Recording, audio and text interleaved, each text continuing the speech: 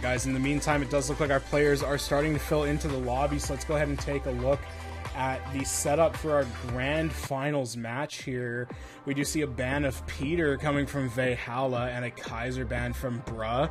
They have chosen to play on late night for their map pick, and we will see Alice, Cindy, and Nui for Vayhalla with Ravi, Cindy, and Alice for Bruh.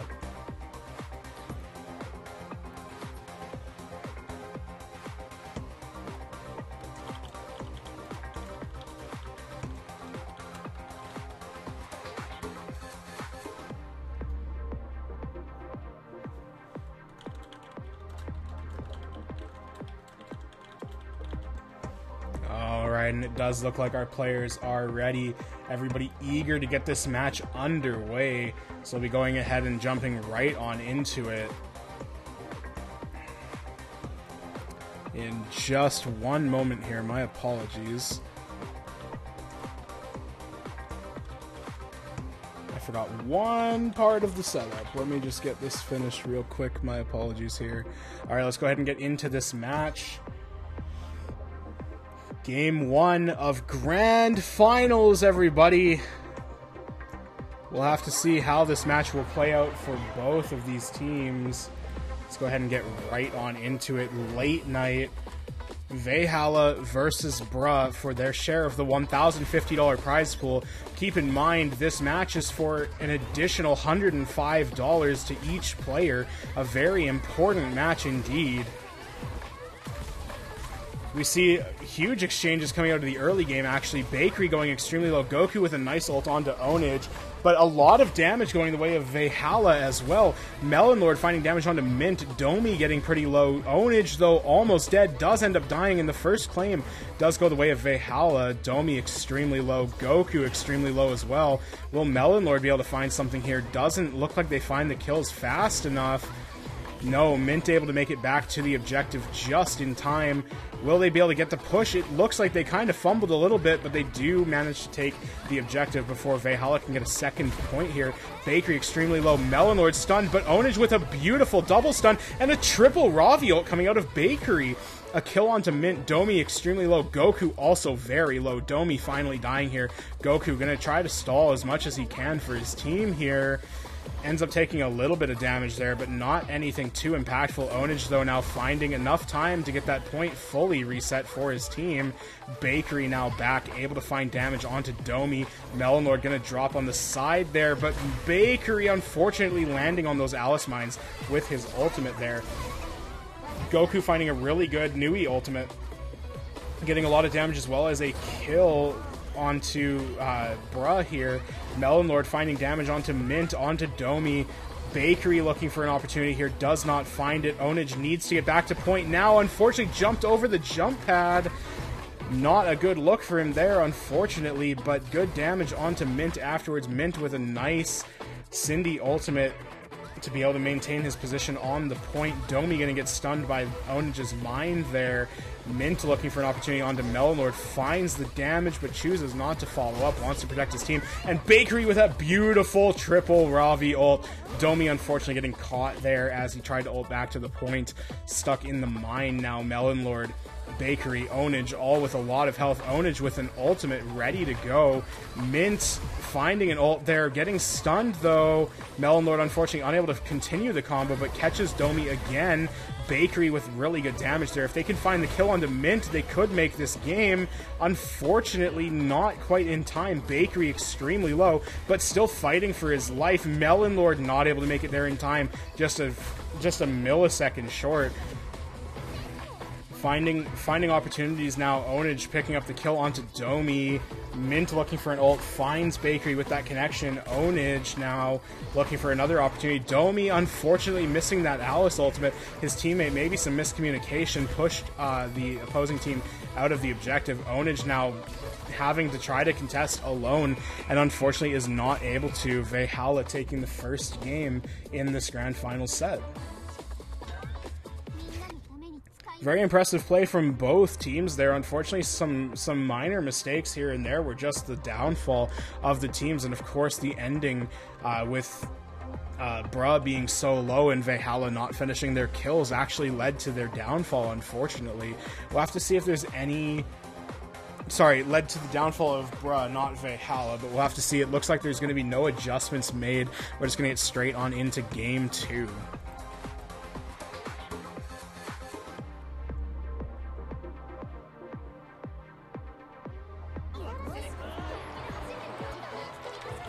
Right, game two of this grand final set between Vayhalla and Bruh.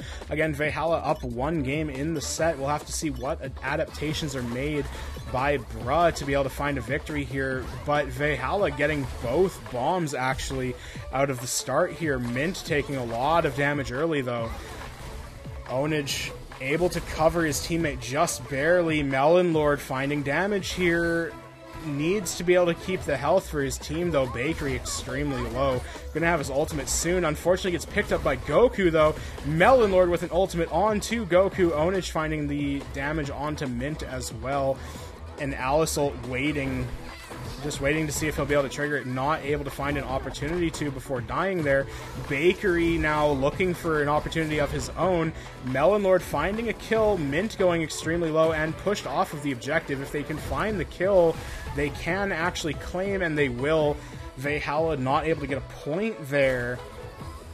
Now let's see what Bruh's able to do with their control time. Onage with about half health. Melon Lord getting put a little bit low now too.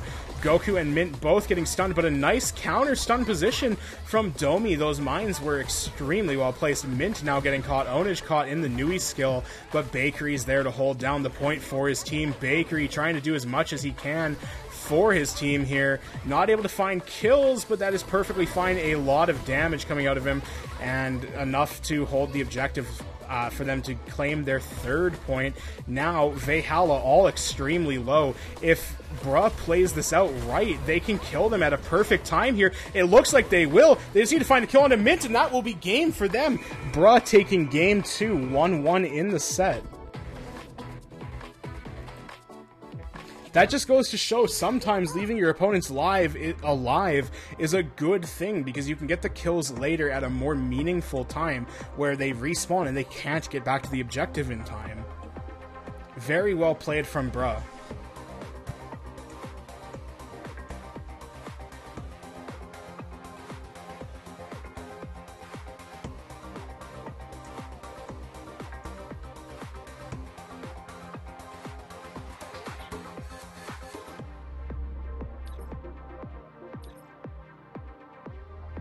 We see a map change to noon coming from Vayhalla with no character changes, it looks like.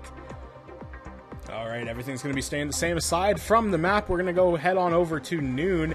Definitely a uh, position where that Alice rare ability can really come into effect. Let's go ahead and get into Game 3 and see what's able to happen here. Will Bruh be able to take this newfound momentum and push for the victory to bring Vayhalla down to the loser's bracket? Or will Vayhalla find their way out? And take this home for themselves.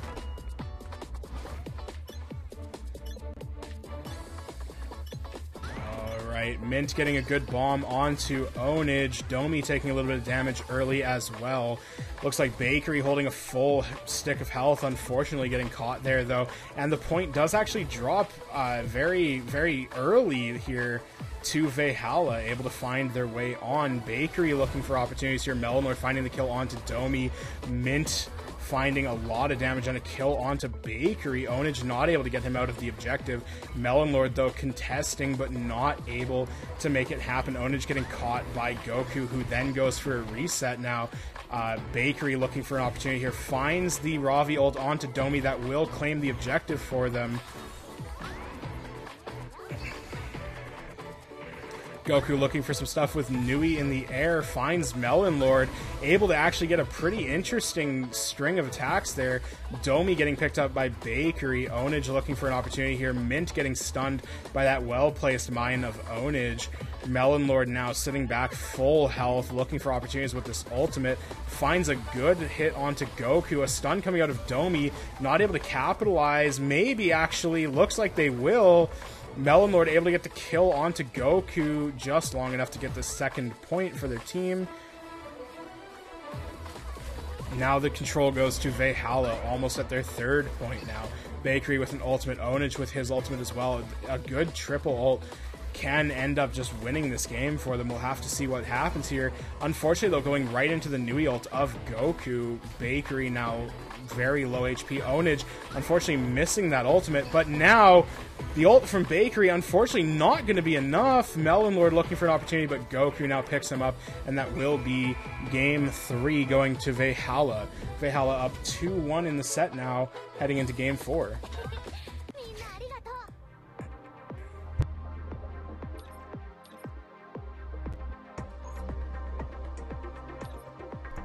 All right, Bruh, opting to take it back to late night.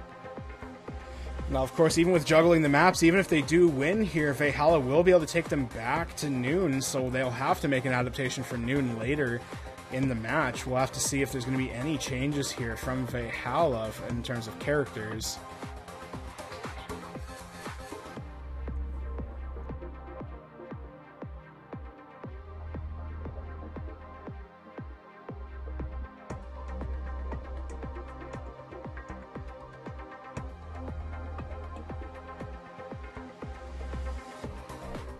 Okay, Mint is going to be going Ravi, and we're going to be seeing a Cindy pick from Goku.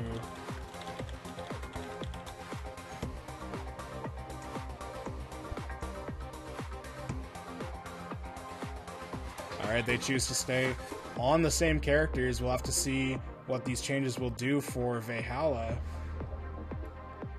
Going back into late night here. Let's go straight on into game four.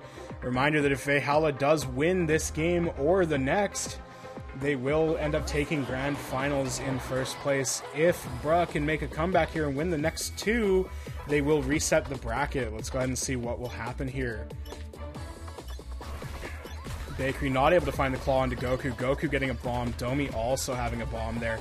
And the first take goes the way of Vayhalla. Bruh, all very low health at this point in comparison. Mint, though, getting... Oh, Goku got stunned out of his ultimate there. Just kind of noticed that off to the side. That was a really, really good stun there from Onage. Very impactful. A good mine placed in the middle of the map, but unfortunately not able to catch Mint. Melon Lord looking for a kill onto Domi.